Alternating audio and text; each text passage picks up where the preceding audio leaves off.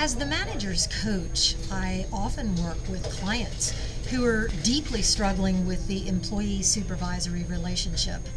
And I think that the root issue behind most or all of that is the word authority.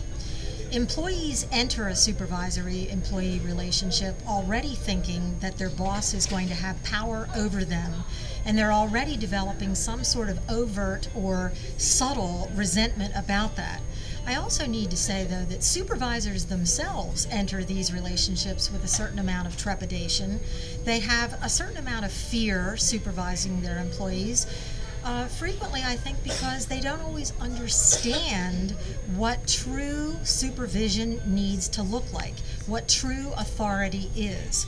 True authority, in my opinion, is more about empowering employees rather than lording power over them.